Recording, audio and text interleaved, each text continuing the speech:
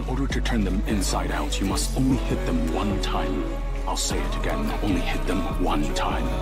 Don't waste time targeting places like her arms or legs. Only deal one punch, without exception.